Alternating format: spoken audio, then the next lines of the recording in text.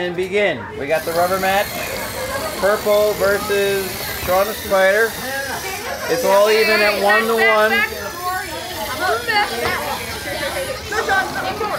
Winner moves on. Loser goes to the loser bracket. So far, oh, looks like it looks like there's still even. Purple is Purple's facing the wrong way.